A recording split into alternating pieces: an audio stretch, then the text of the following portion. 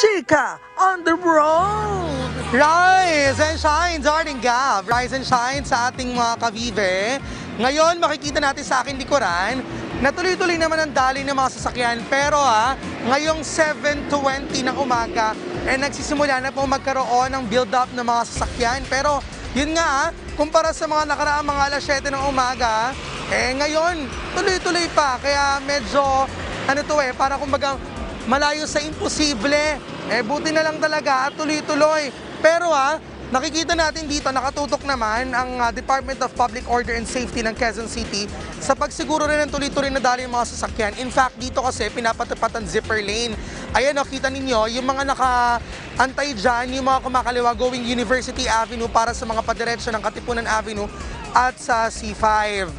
Ngayon, kita rin natin na ngayon ay pinapakaliwa na sila no, ng mga kasama natin dyan sa Dipo sa pagsiguro syempre. Alam nyo, mga kabibe, umaabot sa 5,000 mga sasakyan kada araw ang nakikinapang sa zipper lane na yan.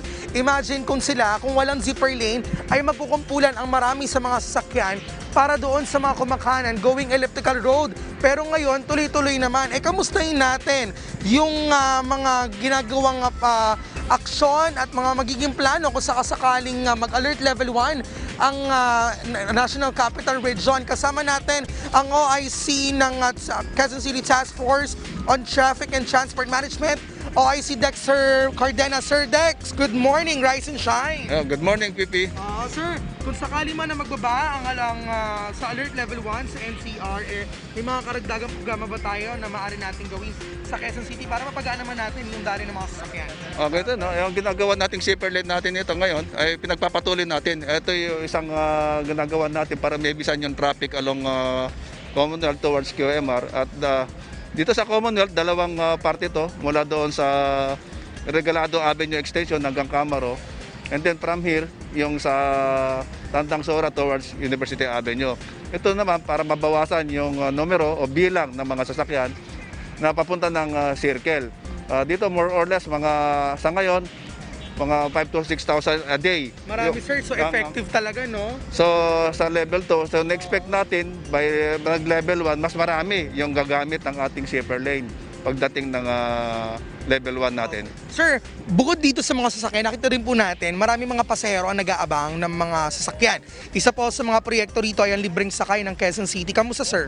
Uh, yung sa libreng sakay po natin, ah, meron tayong 8 bus routes na ah, programa ng city para matulungan naman ang ating mga mamamayan na na-stranded ah, commuters along ah, part ng Commonwealth, ah, part ng Quirino, part ng uh, E. Rodriguez and Quezon Ave. So yun yung mga programa ng city to alleviate the problem on ah, ah, yung public service natin sa mga bus. So tinutulungan natin sila sa pamamagitan ng libreng sakay.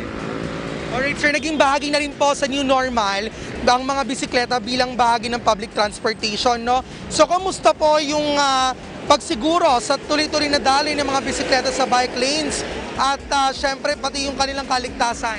Uh, meron tayong programa ng bike lanes dito sa Quezon City. So makikita dito sa Commonwealth yung mga bike patrollers po natin, nandito sila to assist yung mga bikers po natin. So dinedevelop, in- ini-improve pa yung ating mga bike lane program dito sa Quezon City para magkaroon ng safe na pagbiyahe ang ating mga maraming uh, nagbibisikletang mga mamamayan na pagpa, ah, pumapasok sa pamamagitan ng kanilang ah, bisikleta.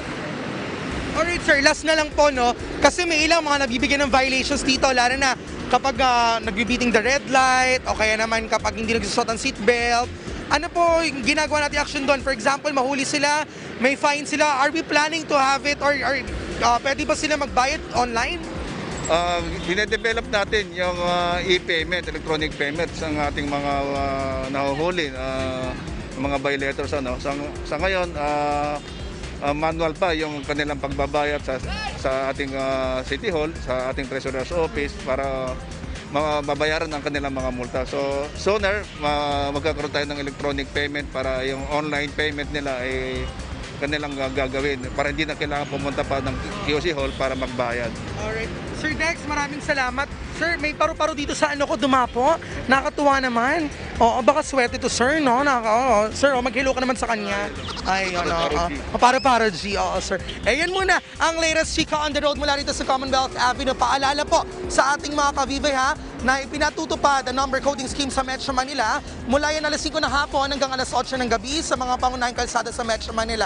Habang sa Makati naman, buong araw po yan pero modified. Ibig sabihin kung mag-isa ka sa iyong sasakyan at ang last digit ng iyong car plate ay number 7 and 8. Tuhuliin ka ng ating mga kasama dyan. At para sa iba pang ulat trapiko, silipin na ang social media accounts ng MMDA, ang kanilang Facebook, Twitter at website. At kung may emergency man pero wag naman po sana, eh tawag na sa hotline ng MMDA na 136. Yan muna ang latest Chica on the road mula rito sa Commonwealth Avenue. Remember, don't be rude, be kind, and you can never go wrong with kindness. This again, your traffic chick 50 at